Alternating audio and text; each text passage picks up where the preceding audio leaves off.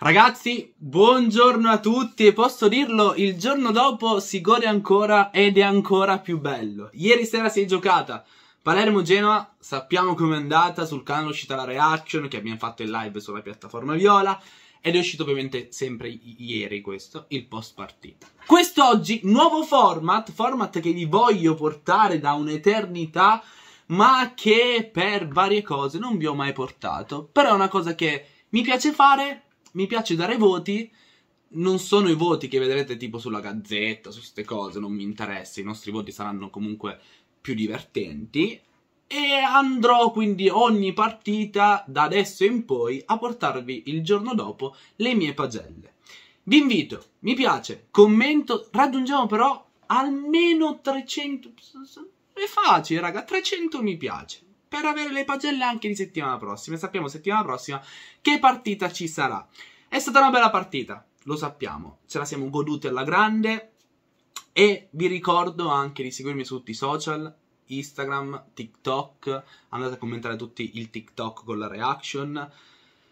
E di scaricare l'app. Primo link in descrizione. App sul calcio gratuita, fatemi questo favore. Poi vi aspetto in live, ci saranno tante tante novità. Partiamo però, partiamo. Ci sarebbe tanto da parlare, l'ho già fatto sul, e fa, lo farò ancora ovviamente live uh, sulla piattaforma Viola. Ma questa partita uh, era di fondamentale importanza anche per il morale. Partiamo con le pagelle e qui sotto nei commenti voglio le vostre pagelle. Ok? Quindi voi qui sotto scrivete la lista dei giocatori. Non sarà molto montato questo video perché devo andare al pronto soccorso e seguitemi su Instagram, lo capirete poi vi spiegherò poi il motivo.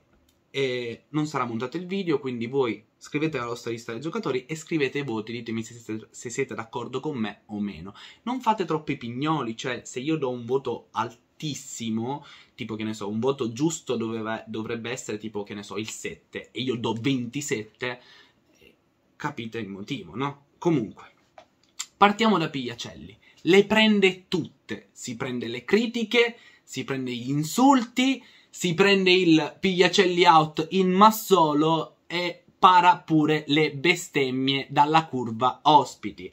Meriterebbe un voto ancora più alto solo per le dichiarazioni post partita dove dice se la gente mi critica, preferisco prendermi le critiche ed essere coperto e quindi proteggere la squadra se le ben prende. Prende critiche, palloni, le prende tutte. Voto 8, meritato, meritatissimo. Pigliacelli si riprende alla grande. Passiamo alla difesa, poi alla fine ci saranno i panchinari. Buttro, Nedelsiaro, Marconi, Matteo. Partiamo dal cavallo pazzo, adesso verrà nominato così. Cavallo pazzo è Alessio Buttro, che oggi compie 20 anni, tanti auguri a lui. Voto 7, criticato anche lui, molto giovane, classe 2002, fa tutta la fascia avanti e indietro, lotta, non si risparmia, ha già salvato 4 gol davanti alla linea praticamente in queste prime partite di campionato. Ieri aveva degli avversari comunque ostici, ha marcato nel secondo tempo a Ramo praticamente ad uomo e ne è uscito vincitore. Alessio Buttero, gli auguriamo il meglio, ovviamente, sempre con la nostra maglia. Conferma, per me, punto fermo della nostra difesa. Voto 7 pieno. Pure 7 più. 7 più. 7 più. Per... 7 più, punto. Difensore... Ah no, passiamo al terzino sinistro. Matteo, qui l'unica nota un po' storta della nostra, della nostra retroguardia. Matteo che è arrivato senza preparazione perché era svincolato ed è stato subito buttato nella mischia perché piuttosto di vedere Crivello titolare, pure Eugenio Corini eh, si sarebbe inventato pure Massolo terzino. Quindi Matteo in campo va in difficoltà, viene ammonito dal primo fallo che fa, l'arbitraggio un po' ambiguo, vabbè, ma lo sappiamo.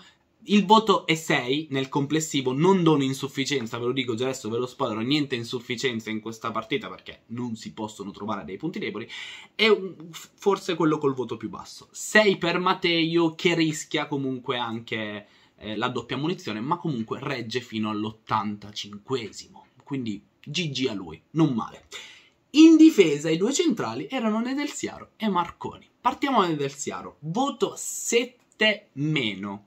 Meno perché? Meno soltanto per il, tra virgolette, liscio um, finale. Per il resto compie una partita perfetta. Il suo marcatore, il, il suo uomo da marcare era Ekuban. diciamo che eh, i fisici sono diversi, Ekuban molto molto più veloce di, del nostro difensore rumeno, però si comporta alla grande. Accanto a Ivan Marconi, eh, diciamo che Nedelsiaro ha, ha, sempre dimostrato di essere un ottimo marcatore. Legge bene le, le, le occasioni avversarie, per me compie un'ottima partita, preciso, a parte sì, il non do il 7,5 solo per quello, perché per quel brivido finale che comunque poi hanno annullato il gol per fuorigioco giusto, fuorigioco attivo perché prova a intervenire sul pallone Bani, ma non lo prende. Passiamo all'altro, il pilastro, il pilastro della nostra difesa, Ivan Marconi. Sarà lento, sarà uh, impacciato in alcuni movimenti, non riuscirà a recuperare in velocità chiunque, ma Ivan Marconi quest'oggi a fine partita in tasca aveva Massimo Coda e non è cosa da poco. Voto 8, leader muro difensivo della nostra difesa e si merita di giocare titolare perché con lui la storia è cambiata. Passiamo alla SSS, il nostro centrocampo, Stulaz, Saric, Segre. Partiamo da Stulaz. Stulaz per me merita un 6,5. Eh, non esiste come voto, ma tipo 6,5 con un piccolo meno.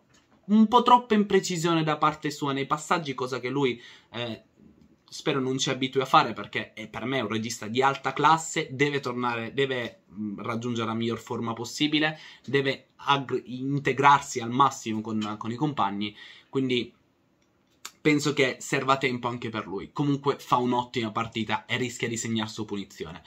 Passiamo al secondo, che è Saric, anche lui deve entrare in forma, e deve integrarsi anche lui con i compagni, ma questa è una cosa che dovrei ripetere per ogni giocatore. Rispetto alla sfida con la Reggiana, fa molto di più, gli do un 6 più di incoraggiamento, meriterebbe un 6 anche lui. Eh, sbaglia, sbaglia, tanti palloni, cosa dando a lui perché è un giocatore che ha una classe infinita, però poi ragazzi ha fatto delle aperture con l'esterno da alta classe e per poco non segna anche, anche il gol. Il migliore del centrocampo, a mio avviso, è Jacopo Segre, il migliore amico che tutti vorrebbero avere perché andate a rivedervi l'esultanza pubblicata da, dal nostro social media manager sul, sul profilo del Palermo Instagram. Ragazzi, ma Segre quant'era contento, sorrisone sempre a mille denti, bellissimo, davvero. Voto 7 più, non ha smesso di correre, un motorino. Ma poi ha rischiato anche di segnare, eh, ottimo in fase difensiva, sgroppate in avanti, veramente il migliore del nostro centrocampo in questa partita. Voto 7 più, meritatissimo a parer mio. Andiamo avanti. A destra Elia, a sinistra Di Mariano, davanti Brunori. Elia, primo tempo mh, mm, non bello. Si sciarria parecchie volte col pallone. Il secondo tempo però eh, mette in mostra le sue doti, corre in contropiede, eh, è piccante, eh, da tutto, da tutto per la maglia e questo gli fa onore. L'avrei cambiato per Valente negli ultimi 20 minuti, 15 minuti, ma lui comunque mi, mi ha, mi ha, nel secondo tempo mi ha convinto. Ah, in contropiede è un giocatore che comunque è, è, molto molto molto utile e ha una resistenza allucinante. Voto 6,5. 5,5 primo tempo, 7 nel secondo, un 6,5 glielo do. Glielo do bello tranquillo ad Elia, che deve comunque migliorare, ci sta. Dall'altra parte c'è Di Mariano, Checco, tanto criticato perché palermitano, noi palermitani, noi palermitani, oh, critichiamo più i palermitani che gli altri.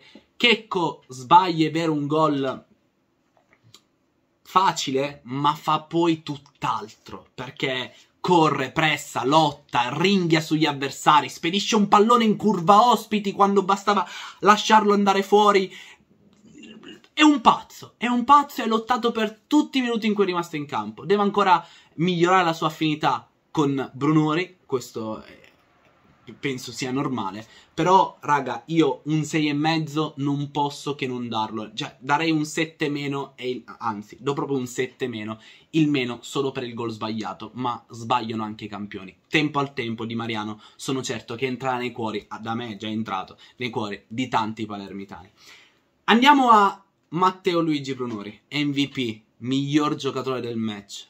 Segna, esulta, dedica il gol, impazzisce, lotta su ogni pallone, salva un gol sulla linea di petto.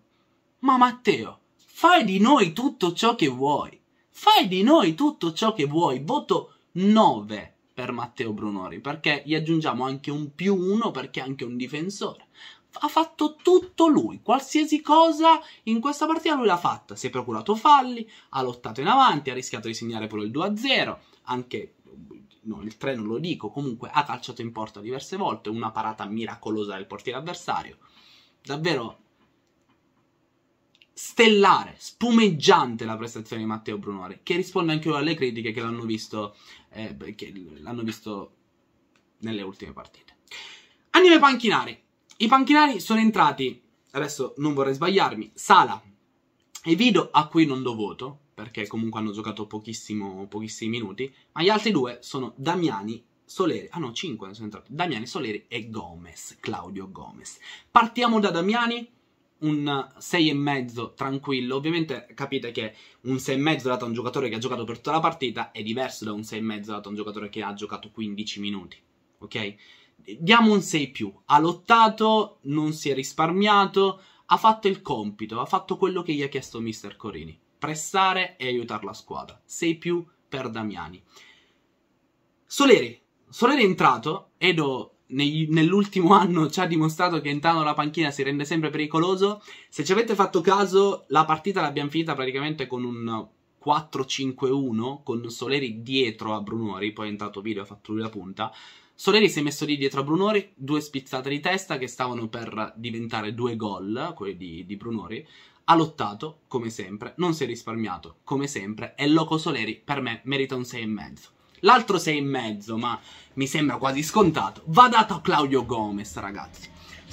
Madonna mia, scusatemi, madonna, madonna eh, si, si, è emozionato pure, pure, il telefono, raga, parlando di Claudio Gomez. Raga, è entrato, mi, il mister Corini gli ha detto in inglese, penso, corri, run, pressa.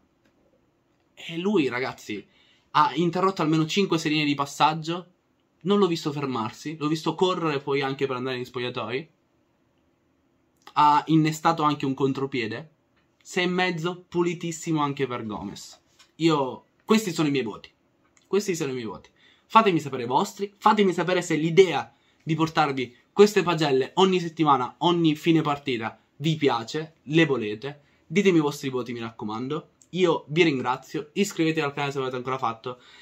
Sempre Forza Palermo, adesso comincia la la settimana che porta a Frosinone Palermo.